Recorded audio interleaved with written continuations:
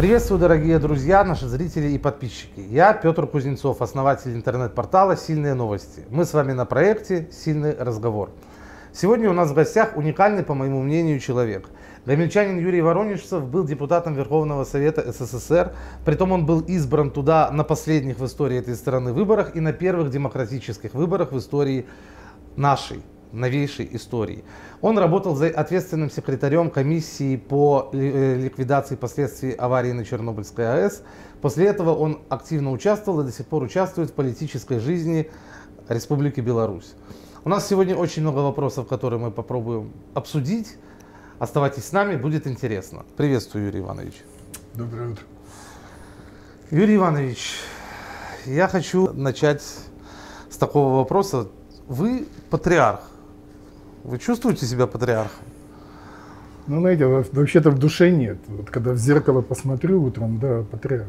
Да, я как раз скорее не о зеркале, я как раз скорее вот об этом ощущении, о том, что на вашу жизнь, на вашу активную работу и деятельность пришла смена нескольких эпох. Советский Союз э, как империя, Советский Союз как распадающийся геополитический проект, независимая и пытающаяся стать демократической Беларусь, в конце концов то, что мы имеем. Знаете, вот ощущение, что я прожил несколько жизней.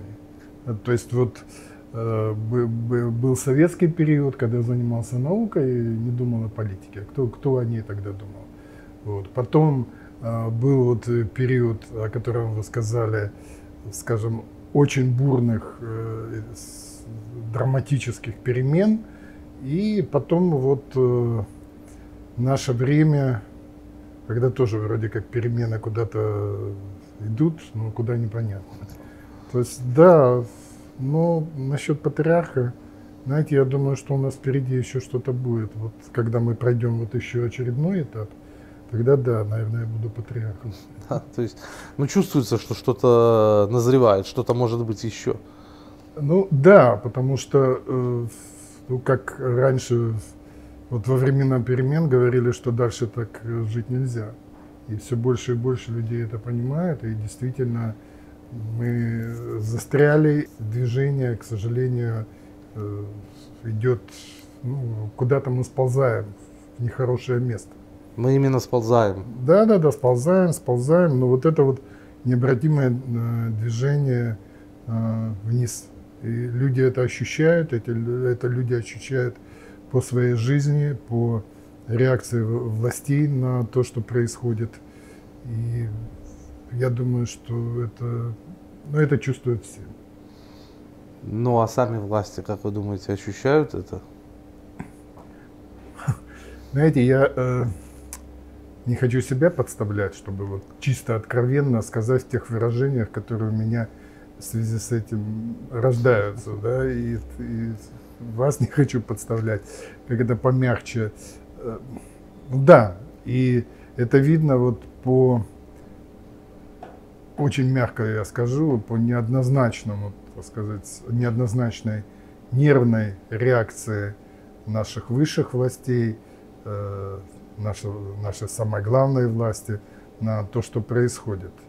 То есть это, да, я думаю, что это чувствуют э, и это знают, и я думаю, что кто-то из чиновников даже а, готовит себе какие-то другие запасные аэродромы.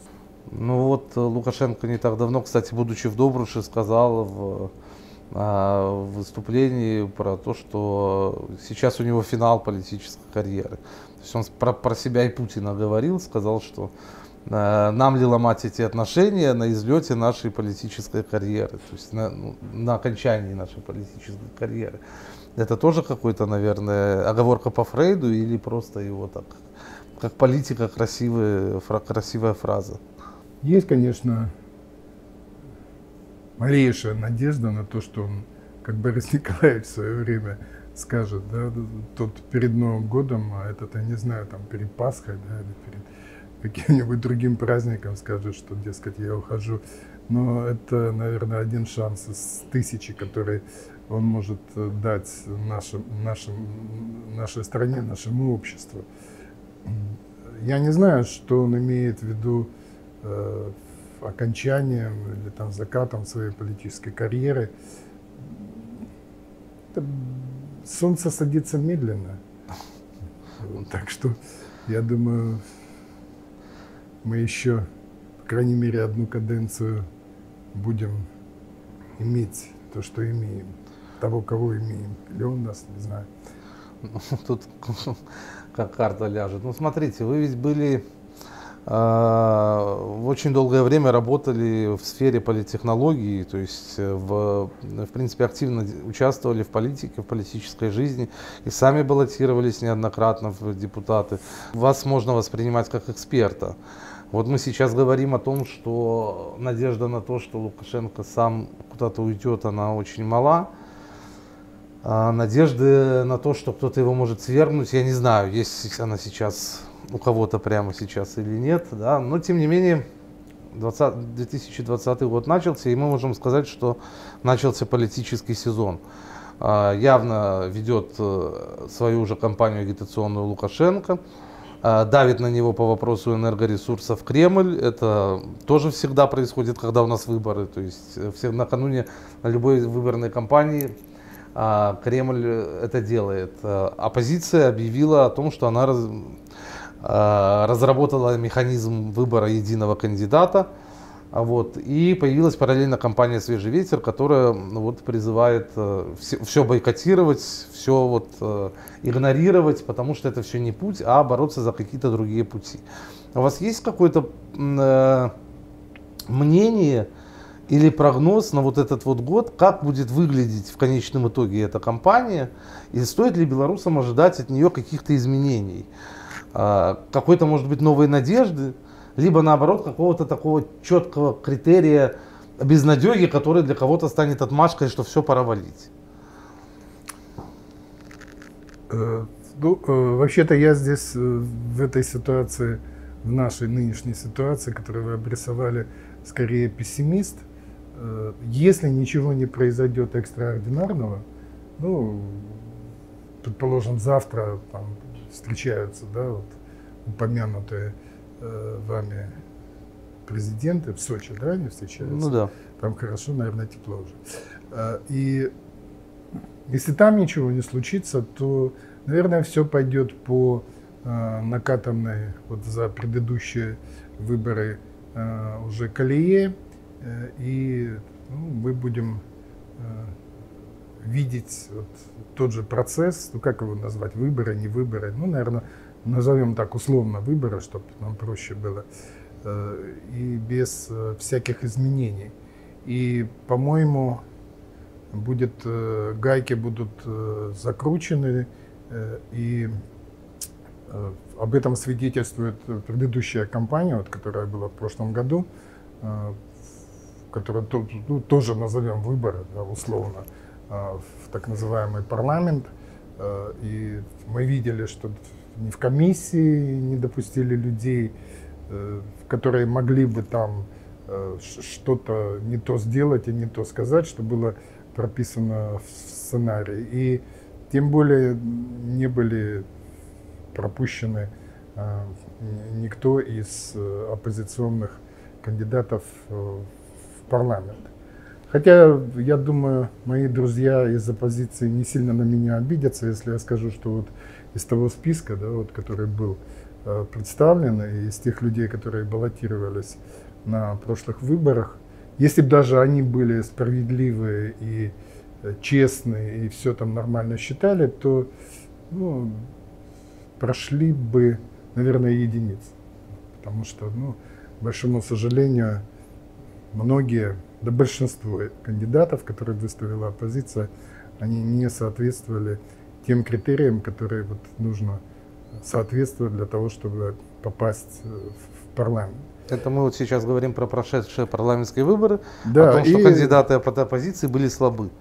Да, и э, некоторые говорят, знаете, вот, ну, как это выражение, там, рок-н-ролл умер, да? Да. Вот. Ну, про оппозицию еще рано так говорить, как и про рок-н-ролл. А, но кра крайне слаба, и ну, я и на свой счет это тоже вот эту свою критику самокритику принимаю.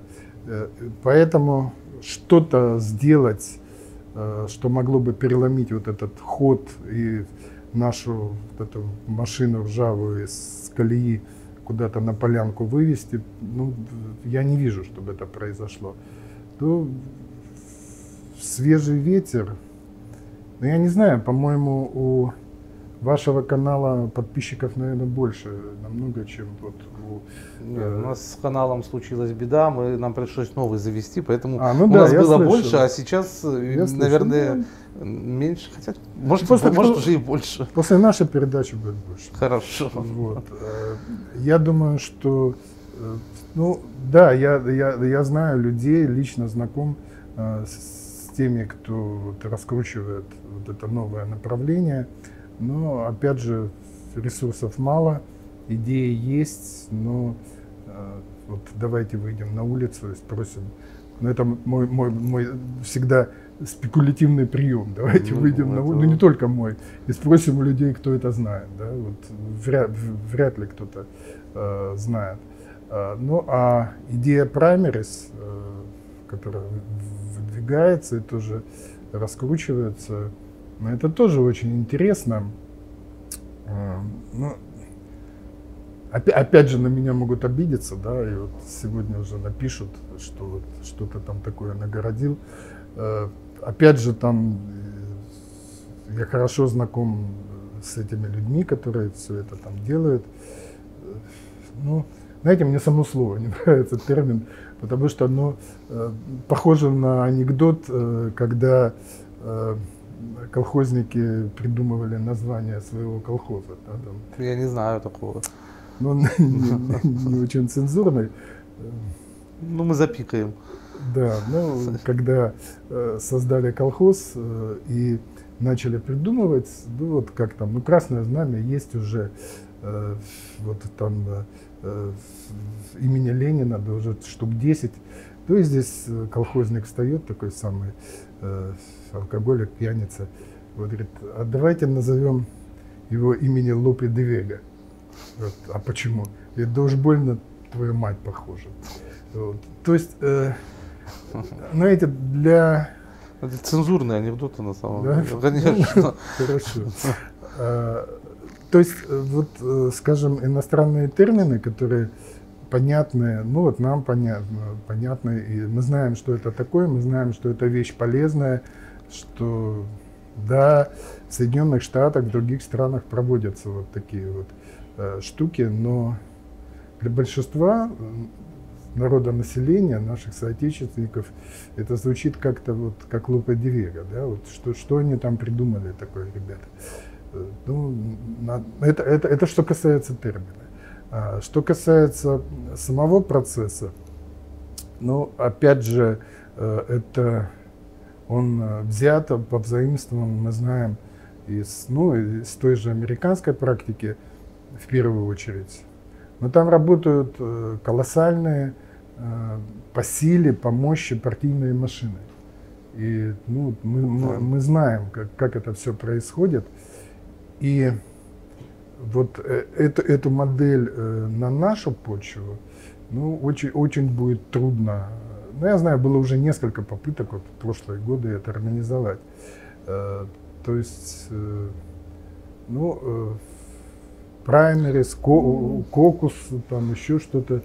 То есть это, это, это сложно, потому что ну, партии у нас, они, извините за грубое слово, практически сдохли все сейчас. И э, как, как это будет организовано, я не знаю.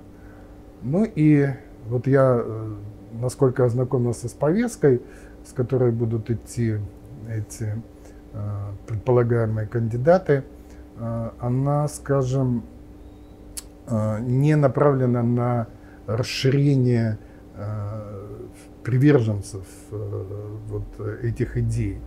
А идеи там, насколько я понимаю, это э, демократия, это очень хорошо, национальное возрождение э, и что-то там еще третье забыл, ну тоже что-то в этом духе. Э, То есть есть два, два полярных метода. Или ты продвигаешь свои идеи и пытаешься как-то донести их до как можно большего количества людей, или ты а, стараешься а, расширить свое влияние как какой-то партии, как, как какого-то движения. Вот то, что делает «Говорит правда». Да? Угу.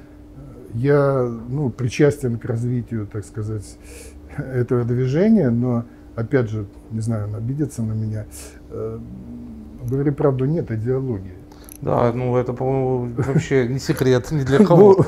Идеологии нету, там есть вот э, э, такое... Э, мы придем к вам и в вашем дворе решим э, ваши да, проблемы. То да, есть такая, да. муж это, на час там или да, жена. Это, это вот второй подход, когда, э, скажем, популярность э, среди населения, там партии, движения, она вот расширяется таким образом, и э, политические кампании типа выборов как раз вот используются. Э, ну, это имеет, э, так сказать, под собой, э, ну, это имеет определенный смысл. Или мы имеем идеи, вот то, что собираются нам вот люди, которые объединились сейчас, будут выдвигать единого, или продвижение вот этих идей. Потому что то, что они двигают, в принципе, особо не волнует людей, большинство. Да, да, да. И вот если мы возьмем результаты соцопросов, а как ни странно, все-таки, несмотря на то, что НИСЭПи выгнали из страны, их делают. Вот интересные результаты соцопросов Э, вот э, есть такая структура Mi э, AI Research. Вот угу. они делают, я считаю, достаточно объективные опросы. Ну и служба Андрея Вардамацкого да, тоже. Да, да, да. То есть, если мы смотрим вот рейтинг проблем, которые волнуют наше население, особенно когда идут открытые вопросы, то есть когда люди сами пишут, что их волнует, а не там заранее список, то на первом месте стоит это эко чисто экономические дела. То есть это низкая зарплата, это рост цен, ну, мы знаем, медицина там и так далее. То есть связанные с жизнью. Вот, э, поэтому, вот, э, ну, я все-таки физик, вот если использовать, э, скажем, физические какие-то величины или, или приемы в политике. Вот если мы нарисуем гауссово распределение, я mm-hmm. не знаю, там в школе сейчас изучают, наверное, уже. Ну, то есть здесь отложим количество людей, а здесь, э, скажем, их э, ценности. И будет вот такое, да, вот такая кривая. На экономике. Вот да. И вот как раз центр, вот это горб, это как раз а, те Э, та повестка, которая вот сейчас э, предлагается вот, э, объединяющимися вокруг единого кандидата, это, это вот, вот этот хвост, ну, наверное, да. правый. И да, ну, я, я тоже лично разделяю там многие позиции, но я прекрасно понимаю, что это будет работа среди своих. То есть... Ну вот а бурную дискуссию, в принципе, как бы одностороннюю достаточно дискуссию, то есть более-менее одно мнение мне приходилось читать, хотя от разных людей, вызвала публикация доклада э, Европейского банка реконструкции и развития. А, то есть там общая мысль и общий посыл такой, что Беларусь, она сейчас достаточно развитая э, страна в смысле условий для жизни, для, для жизни населения с предпосылками для развития экономики. Но есть одно но. Если прямо сейчас Беларусь возьмется реформировать институты, то есть политическую сферу, значит, парламент, вот местное самоуправление, СМИ, суды и так далее, то ей, ну, развитые страны Запада придется догонять лет 13. А если не возьмется реформировать и без этих реформ, тогда придется догонять по уровню развития от 40 до 100 лет. Притом, как бы будет это 40 лет или 50 лет или 80 лет, зависит от того, когда реформы институтов все-таки начнутся. То есть краеугольный момент дальнейшего развития нашей страны, по мнению экспертов э, этого банка, он в доверии людей к институтам власти и управления. Вот. А, это я к тому, что все-таки те ценности, о которых говорит оппозиция, а на самом деле, как бы, и о которых э, не говорят лю, обычные люди, они имеют первоочередное влияние на как раз развитие вот э, этих условий для жизни, экономики, значит, и, и вот всего остального, что волнует обычных людей, о чем вы говорите. Может быть, э, оппозиция все-таки как бы права, но действует не какими-то не теми методами. То есть как увязать интересы людей с тем, что на самом деле нужно делать? Знаете, если бы я знал, я бы тоже президентом баллотировался. Да? Э, хотя нет, мне по Конституции нельзя, я не там родился.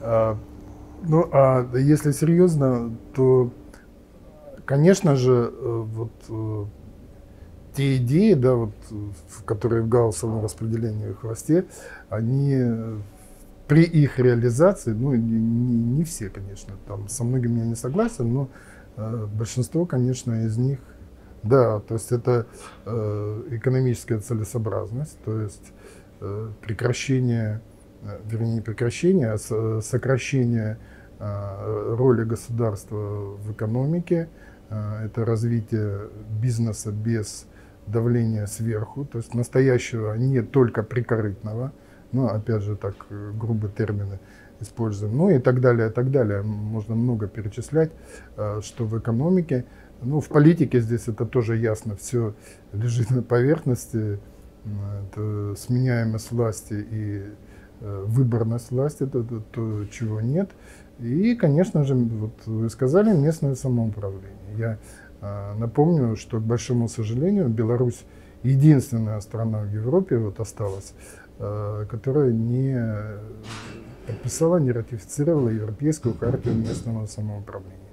А, и, конечно, если все эти реформы будут проведены, а, да, будет, наверное, сначала трудно, но потом, знаете, я думаю, что Беларусь догонит, по крайней мере, страны Восточной Европы очень быстро. Я тут, кстати, согласен абсолютно. Потому что ну, у нас сохранен потенциал и интеллектуальный, и, э, скажем, э, ну, белорусы хорошие, умные люди. Ну вот об этом в докладе идет отдельной строкой, что если э, не проводить эти реформы, о которых говорится, то отсутствие доверия власти, власти, институтам власти, которые не реформированы, будет одним из главных катализаторов для отъезда квалифицированных сотрудников из Беларуси, для трудовой миграции из Беларуси. То есть этому потенциалу, о котором вы говорите, есть угроза тоже.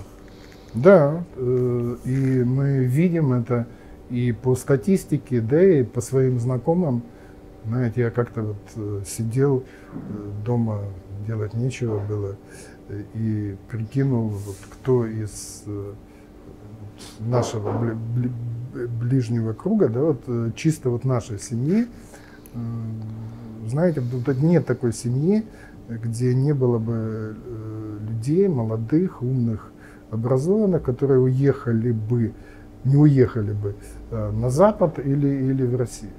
Вот, э, притом в Россию едут в основном в Питер, Москву. То есть это, скажем, те островки России, где, которые ну, э, цивилизованы и бли, бли, ближе к европейскому типу. Власти это понимают, кстати. Вот, Но ничего не делают. Ну, кое-что, вот, вот заметьте, вот тот же этот ПВТ, да, куда э, приезжал этот, ну, да. недавно. Э, вот э, интересные цифры, я не помню, сколько там людей работает, ну, наверное, немножко меньше, чем в колхозах, да? Меньше, меньше, да. Вот. Но, но тем не менее, но. вот э, валютная выручка, экспортная выручка э, ПВТ составила всего там в два с половиной раза меньше, чем от, от, от, от всего сельскохозяйственного да. экспорта. Да. Знаете, это, это фантастика. Ну, вместе с тем Лукашенко сказал, что а, отсрочек теперь не будет студентам э, белорусским, кроме аграриев. Вот если ну, аграрий хочет работать в, в колхозе, зачем его в армию тащить? Ну, знаете, это, это, это, это вообще вопрос. Э, опять же, я, я, я когда-то участвовал в одном исследовании. Вот, кстати, можете посмотреть для интереса э, наши топ-менеджеры вертикали. Да, вот, угу э, Но они аграрии, что они, они, они 90% это аграрии, это выходцы из села. Я ничего не имею против, но, знаете, я вспомнил, это, не помню, чье изречение, что э, воздух города дает свободу. Да. Вот, то есть э, люди, которые выросли в селе, и вот они видят, да, вот это вот э, твои родители рядовые колхозники, а вот это бригадир, вот они уже вот там получше, а это вот главный зоотехник, а вот это председатель колхоза, это вообще величина. А вот если кто-то приезжает там из, из района, это уже все. И, вот, и надо быстро убраться везде, ну, сделать и, чисто. И, и, и, и вот это вот, э, ну, это, это, это вколочено в голову. Может, может быть, это и хорошо, я не знаю, но когда 90% топ-менеджеров страны вот, вот с таким менталитетом, это, это, это, уже, это, уже, это уже, я считаю, это уже плохо. Да. И плюс, э, естественно, образование.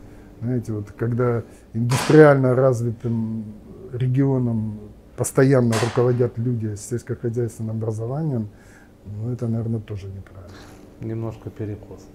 Ну ладно, я хочу вот еще такую вещь спросить. Мы немножко просто ушли, угу. а там был очень интересный момент. Вы говорили о том, что э, мы сейчас вот э, от э, аграриев, которые во власти, то есть от низкого уровня кадров, которые во власти, ну не низкого, а не надлежащего, скажем так. Ну, не соответствующего, да, не соответствующего моменту. Да. Вот этого, то есть... Вернемся обратно к тому, о чем говорили, просто чтобы этот э, вопрос с президентскими выборами уже закрыть и пойти дальше. Вы говорили, что большинство кандидатов в депутаты, которых выдвигала оппозиция, слабые, на честных выборах бы проиграли. А вот те кандидаты, которые, потенциальные кандидаты в президенты, которых сейчас оппозиция готова рассматривать как единых, из которых готова выбирать единых, если отбросить как бы вот все наши там а, мифы, то есть предпочтения фейсбучные, как мы читаем Facebook, нам один симпатичен, один не симпатичен, mm-hmm. а посмотреть реально с точки зрения либо избирателя, либо эксперта. Кто-то из них может в условиях даже супер честных выборов, как они говорят, надо там Ермошина убрать, там честные выборы объявить, действительно побороться в электоральном смысле э, на честных выборах вот с действующим главой. Ну, э, Давайте рассмотрим вот стандартные критерии, которые, которым должен соответствовать кандидат. Ну да, да, даже не президент, а даже вот где-то э, помельче, там, в парламент. Ну, это э, учитывая, что э, наше население в основном личностно ориентировано, э, это, должна быть э, очень сильная харизма. То есть вот такая, как у Лукашенко, да, была поискать. Ну, вот надо поискать. Или подождать, пока у него немножко сдуется. Потом э, должен быть э, какой-то бэкграунд, э, который понятен большинству населения. И здесь же опять у нас народ так, ага, смотрит биографию, да, вот он занимался тем-то, тем-то, тем-то, вот, а почему он ничем никем не руководил, да, вот это вот плохо, да, вот, почему он там не был вот каким-то э, человеком, э, который приобрел опыт руководителя. А дальше, естественно, должна быть какая должна быть команда, которая входит ну, в систему ресурсов. Да? Вот я, я считаю, что ресурсы ну, мы знаем, да, по классике, что это там время, деньги, да, люди. Главное, Идеи, идеология. Там. Да. Да. То есть, э, если ресурсы у особенно человеческие, да, вот у кого-то из этих кандидатов их нет. Я уже говорил о том, что ну, структуры партии, на которые можно опереться, ну, они сейчас в очень таком плачевном состоянии. А дальше... Э, Харизмы нет, структуры нет. Идем дальше по списку. Идем дальше. Чего нет? Э, дальше. Э, команда экспертов. Должна быть э, очень мощная команда экспертов, э, которая подсказывает, которая э, ведет этого кандидата. у нас, к большому сожалению, э, вот ну, из тех людей, которые там представлены, все угу. там не читатели, а писатели. Да? Я не ну, думаю, да. что они будут как-то сильно прислушиваться к мнению экспертов. А зря.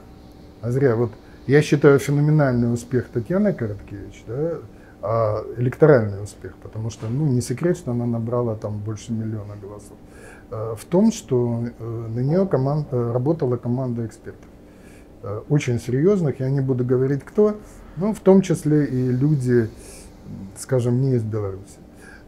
И из девочки, которую не знал никто, за там 3-4 месяца сделали даму, за которую проголосовал, проголосовал миллион. Вот. Есть такие эксперты, такая группа экспертов? Я знаю, что нет. Вот. То есть, и э, это очень плохо. И э, любой кандидат, э, тем более президенты, это не просто э, человек вот пришел и вот такой, как он есть. Да? Это определенный образ, который рисуют, э, которые делают, лепят из него э, профессионала.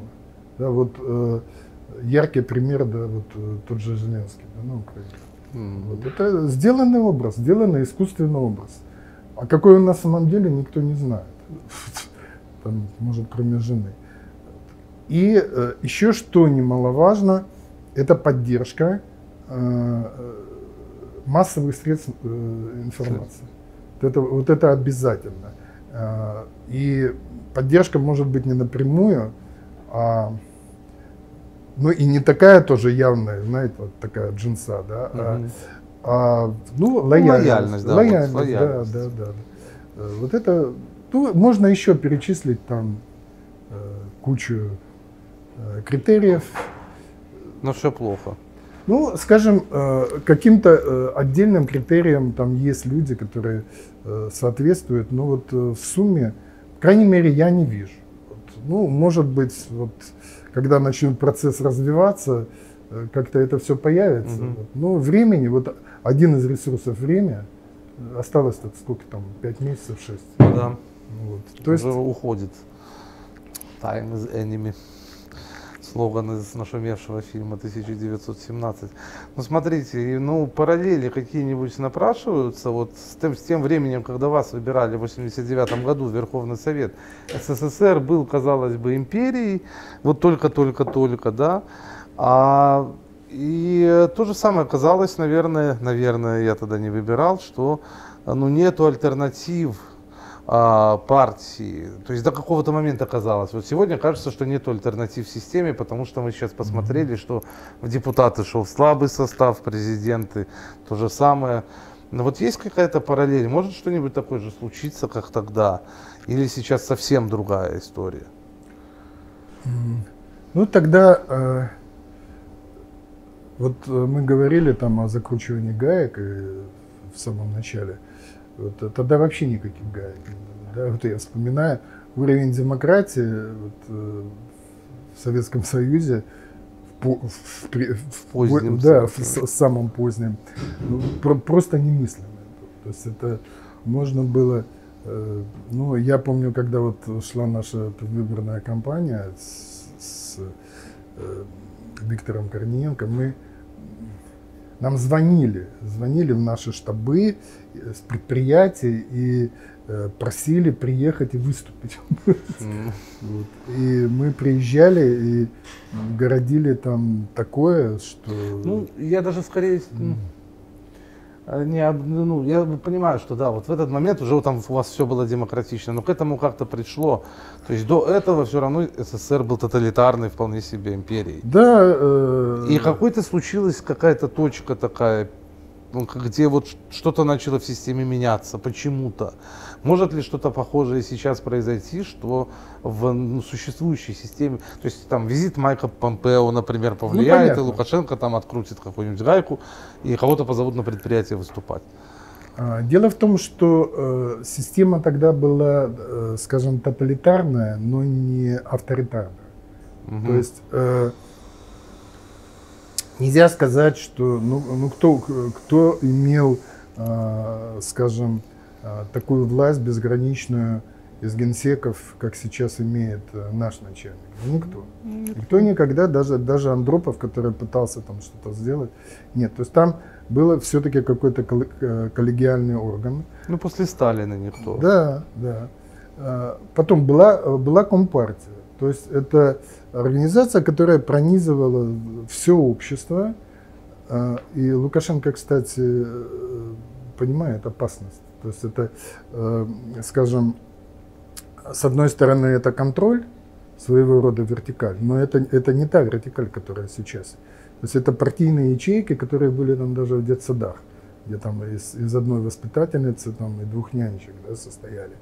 Вот. И, э, скажем, вот эти перемены, они, э, назревание этих перемен, которые в обществе, которые среди непартийного населения и партийного, э, это, это, это все передавалось наверх, и угу. там наверху люди понимали, что вот надо что-то делать, потому что иначе все это гафнется и будет э, намного хуже, чем э, вот какие-то реформы. А сейчас этого не происходит. Ну и знаете, тогда, насколько я помню, ну, люди были недовольны всем. И вот количество людей, э, которые были, э, скажем, недовольны тем, что происходит в стране, э, ну, это было, это было абсолютное большинство. А тогда было плохо, было плохо на физиологическом уровне. Потому ну, что, это я даже помню. Да, ну, вот. Сейчас этого нет. Сейчас, скажем, то есть все ворчат, все говорят, да, плохо, плохо, ну, плохо. Потому что хотелось бы лучше, а да, в целом хотя... жить можно. А в целом вот, вот э, улицы забиты, это я Лукашенко цитирую, да, машинами. Да. Вот, э, в пятницу, в субботу, а в пятницу летом попробуйте куда-то въехать после конца рабочего дня в продуктовый магазин большой, mm-hmm. там не пробиться. Я всегда говорю, когда пока Э, Я помню, пока над дачными поселками будет стоять вот, плотный вот, запах вот, жарящегося да. шашлыка, ни на что надеяться не на что. Я помню это вообще. А он стоит еще. Да, он, не, он стоит и будет вот. еще стоять. Да.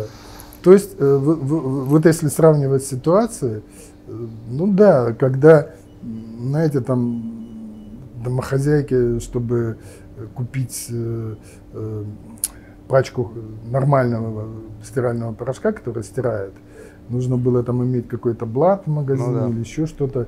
Э, ну, это, это, это невыносимо. А бытие определяет сознание. Это, ну, по крайней мере, деле. По крайней мере, из этого мы выносим очень важную мысль о том, что в суверенной, независимой, современной Беларуси живется лучше, и обратно в СССР нам не нужно. Правильно? Ну, я единственное, когда меня спрашивают, как ты ностальгируешь, я говорю, еще как. Я тогда был молодой, красивый, и ну... все, вот сейчас это куда-то ушло. Вот, поэтому да.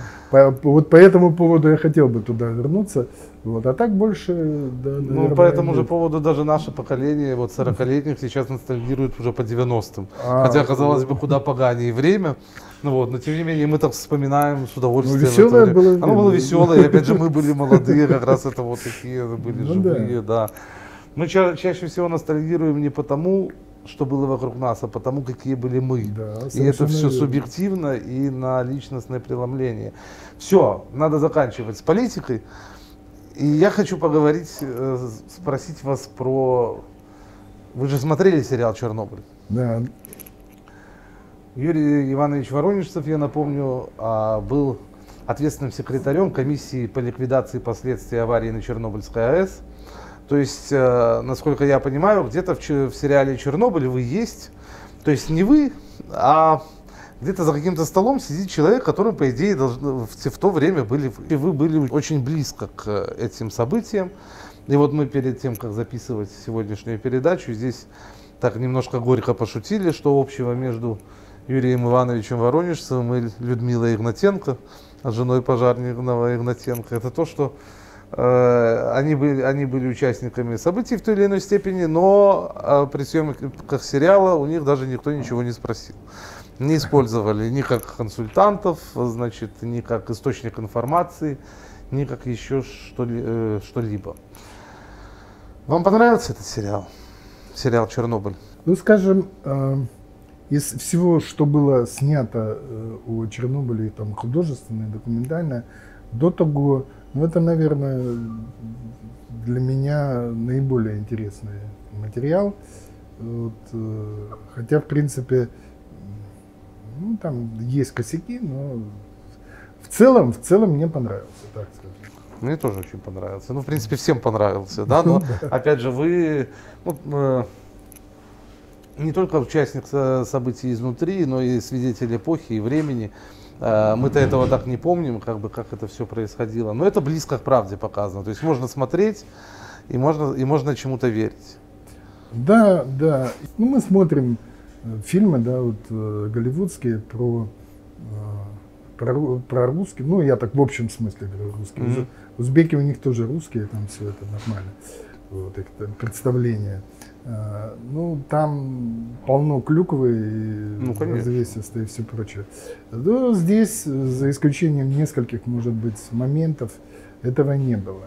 И самое главное, а, что передана вот, э, атмосфера того, что там происходило. То мы, а, я работал в комиссии, которая раскручивала скажем, происходящее тогда, и э, ну, были просто тонны документов, тогда еще, знаете, вот сейчас там вот на такой флешке это да, тонна да, бумаги, да. а тогда это приходилось все пересматривать, э, перечитывать, и э, ну, иной раз волосы дыбом становились, когда там белорусские начальники пишут московским начальникам, а разрешите нам увеличить э, дозу, допустимую для беременных, чтобы они могли вернуться, так сказать, в свои дома, угу. там, в хойники, все прочее. Вот, я, да, разрешаем. Там. Э, или вот у нас там накопилось много радиоактивного мяса, разрешите нам, пожалуйста, его поставить туда-то, туда-то. А там поставляли это мясо, разбавляли с, ну, с чистым и продавали. За исключением э, Москвы, Санкт-Петербурга и, и Республик Прибалтики почему-то. Вот. А везде это все расползалось по всей остальной территории. И вот это вот все, все, все, ну, это, знаете, столько ужасных просто эпизодов. Вот в фильме там кое-что из этого э, фигурирует, но, скажем, на самом деле было еще страшнее. Вот, то есть говорят, вот это вот, знаете, вот сплошной свинец, такое вот нагнетание.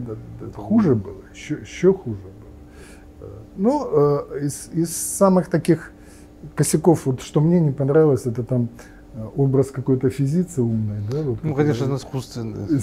Это дань времени, моды, как без женщины. Ну да, да, да, да.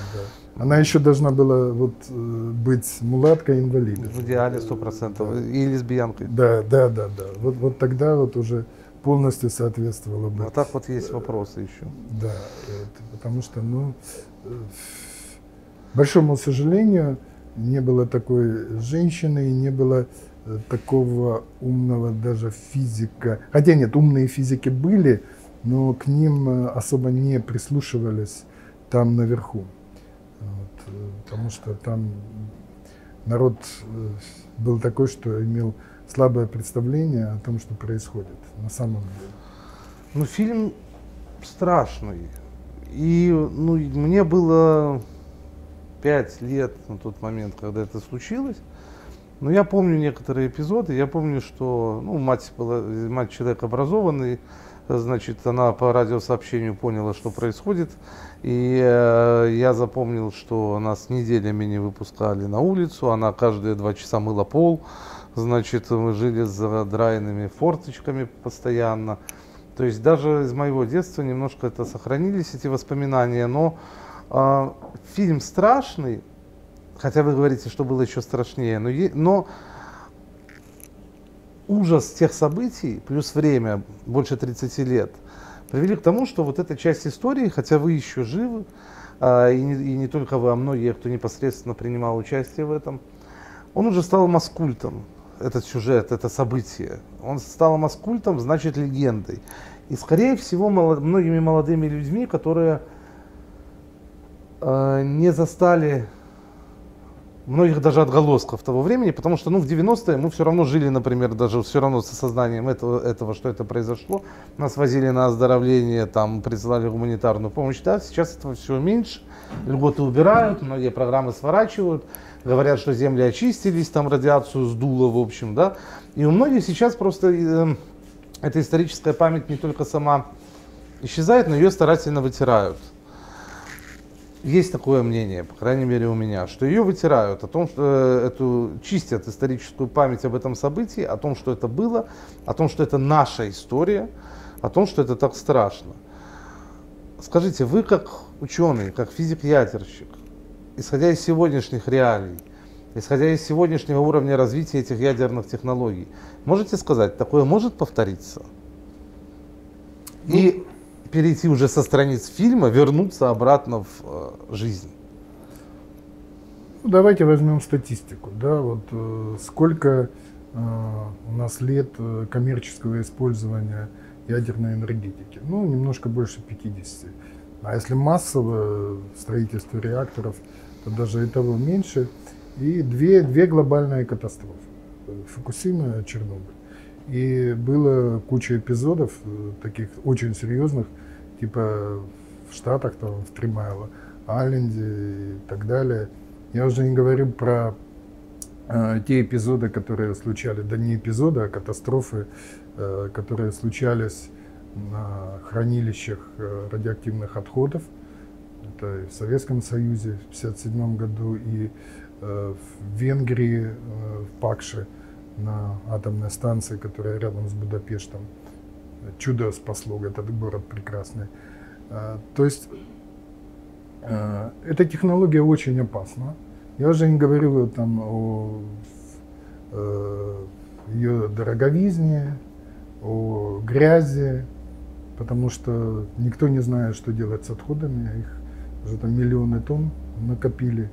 А лучшее хранилище рассчитано на 100 лет – а период полураспада того, что там есть, там десятки тысяч.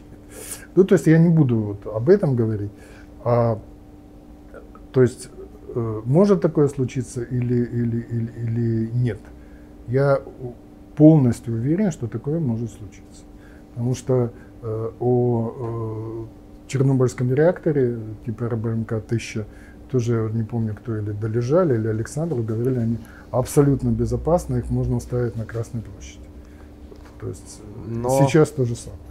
Да? Да. Можно ставить на Красной площади, но ради, радиоактивные облака сажали над Беларусью. Ну, то есть э, я э, категорически э, противник развития атомной энергетики. И слава богу, что в Европе, э, скажем, такая ведущая страна, как Германия, ну это, да. Э, скажем, наверное, две трети Евросоюза. Э, вы знаете, что через два года там уже не будет да, я... реактора. Италия э, тоже страна там не последняя, да, в Европе уже там больше 30 лет не имеет реактора и реакторов и так далее. Да, даже такие страны, которые сидят на атомной игле, такие как Франция, они имеют программу э, вывода э, реакторов. И в принципе это будет тоже безъядерная страна. Э, но другое дело там не через два года, может через 20. И сейчас для того, чтобы хотя бы воспроизводство, элементарное воспроизводство имеющихся реакторов в мире обеспечить, нужно там каждые 2-3 недели запускать по реактору. Потому что э, дело в том, что большинство из имеющихся, работающих сегодня реакторов, э, они уже близки к выработке своего ресурса. И их будут закрывать, закрывать, закрывать. А новые строят, кто сейчас строит? Э, Россия, Китай, э, Бразилия, Индия. То есть э, страны, где, опять не хочу эти страны бежать, где человеческая жизнь ценится, ну, наверное, не так, как э, в развитых европейских странах.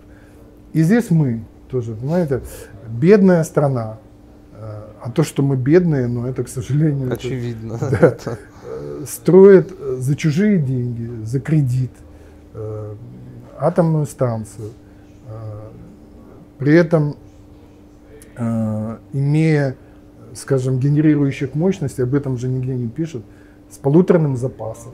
Да. То есть вот э, э, мы в прошлом году, вот до этого мы немножко э, импортировали э, электроэнергию, но и экспортировали тоже.